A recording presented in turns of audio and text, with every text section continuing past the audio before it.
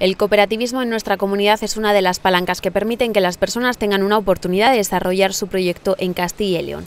En concreto, la cooperativa Copiso tiene unos 1.200 socios, factura 247 millones de euros y es una de las empresas que más trabajo directo genera en la provincia de Soria. El presidente de la Junta de Castilla y León ha visitado sus instalaciones y ha anunciado allí que en esta legislatura el objetivo es aumentar un 40% el volumen de negocio de las cooperativas de la comunidad. Para ello se trabajará con una línea de ayudas para que se vayan fusionando las propias cooperativas.